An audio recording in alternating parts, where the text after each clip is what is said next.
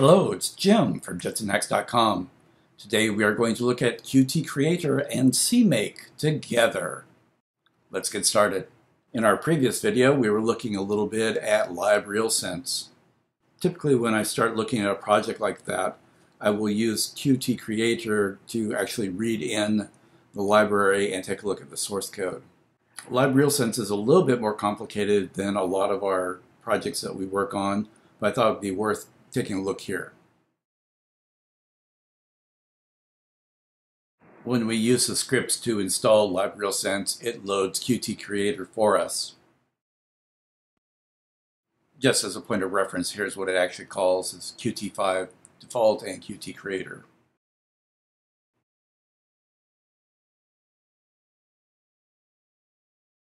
Let's start Qt Creator up.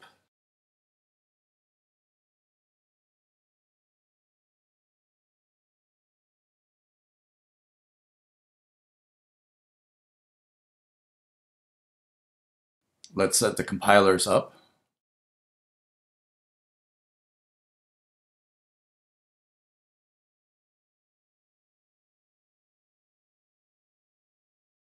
We'll add GCC.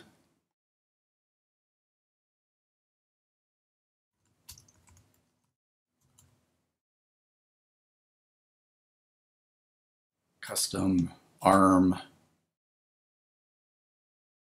That looks happy.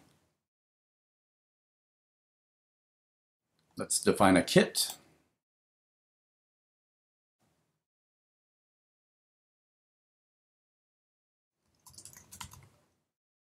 This is on a Jetson TX2.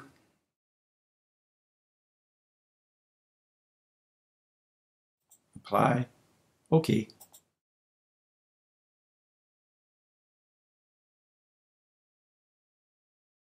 Normally we would just load a project from the make file one of the things that was different about LibRealSense is that we needed to build a custom version of CMake. LibRealSense requires CMake 3.8 or above. We compiled CMake 3.11. Let's switch over to the CMake directory. sudo make install. The installation will be put into slash user slash local. The earlier version is in slash user.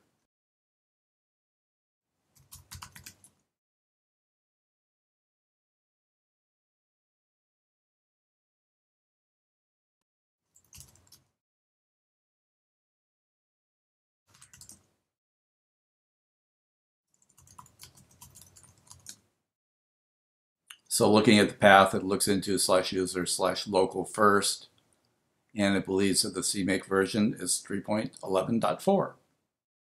Let's go back over to Qt Creator. Let's open a file or a project.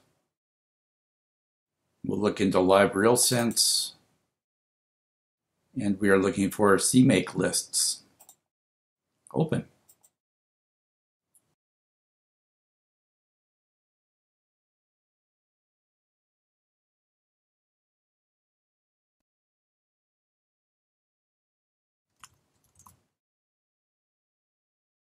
Okay, it didn't buy that. So we'll just type it in here. That'll teach it.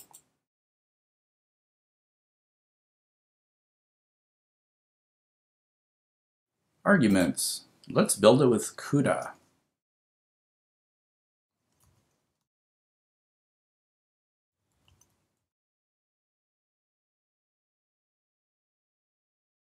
And we'll run CMake.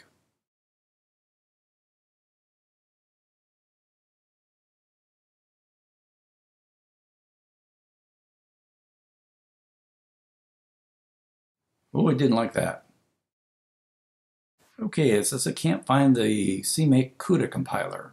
That's not surprising. It doesn't appear to know very much.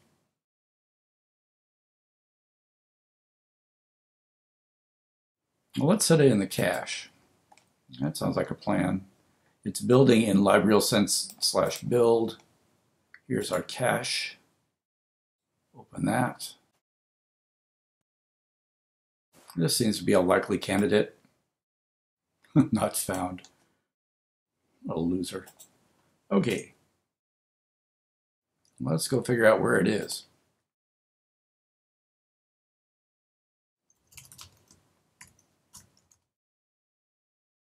That looks like a likely spot for it.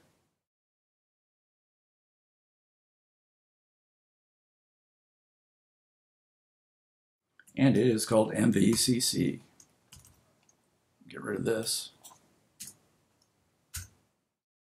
Okay, try it again. Run CMake.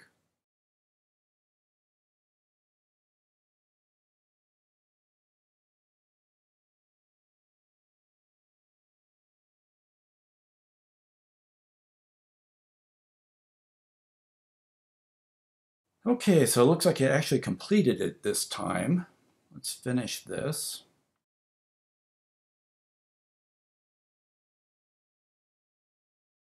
And now we have all of our sourcey code. Okay, so let's run our program. When I was originally working on this revision of LibRealSense for the Jetson, there was a bug that I was looking for. When I built the current repository, I included the patch around that bug. For the purposes of this demonstration, I removed the patch and we're going to go hunt it down ourselves. It's not very hard to find. So let's build the RealSense viewer. And we'll run it in debug mode. I think this little ladybug here is a bug, so we're going to run it in debug mode.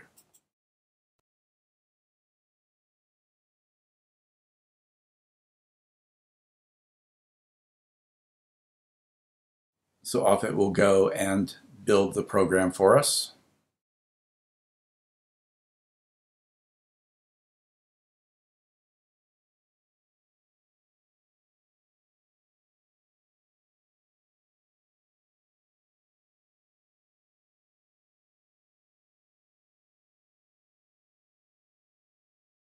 Okay, here we go.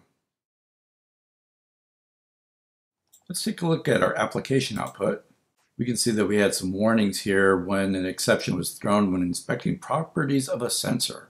So that's one thing that we would look at. I have not looked at that particular issue. The issue that I was referring to is, let's turn on the RGB camera. It's these hardware notifications. We tend to get quite a few of the incomplete frames detected depends on how much light is in the room and the auto exposure settings. It's not bad right now, so when it's dark, you notice our frame per second is not right. So let's turn this off again. There we go. So when it's doing 30 frames a second, we get these hardware notification errors. There's a little bit of light in the room, some overhead lights. Can't have the video without the shark. Here's the shark. So let's find the source of these hardware notification errors. We notice that the error is incomplete frame detected. So let's do a global search. Current project.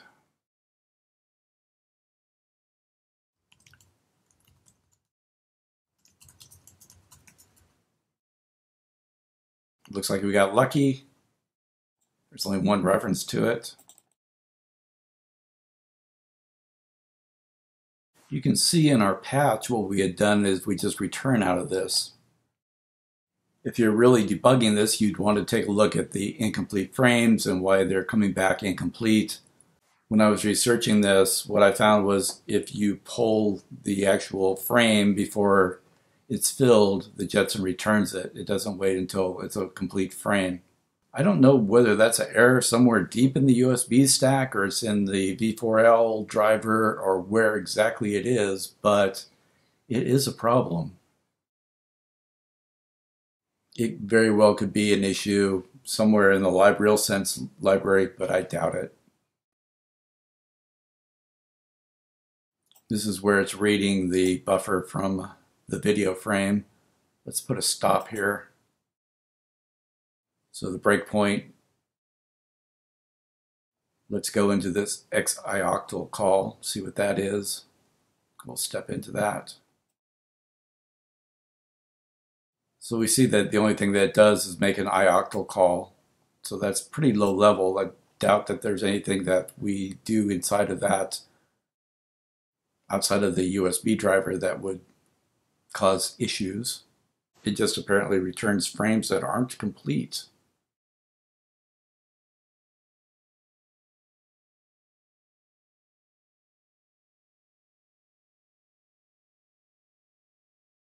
So let's put in our little patch here.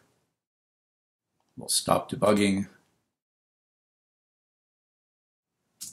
I'm not sure how to correct this, so I just returned out of here. So let's rerun it again. Yes, please.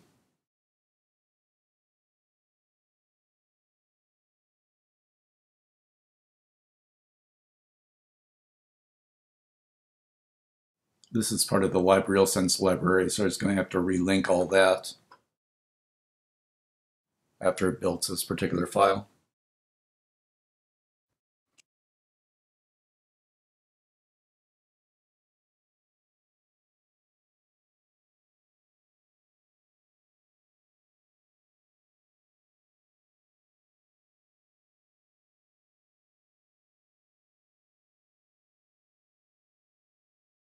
Okay, moment of truth. Let's turn on the RGB camera. We still have our breakpoint. Let's disable that. No more error. Still 15 frames a second.